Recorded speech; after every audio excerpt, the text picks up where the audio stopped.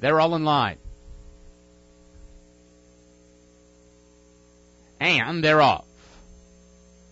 And a fast start for both Eyesongibson and Pure Heat from the inside. These two nose to nose have opened up now a length on Marnesia Sunset in third.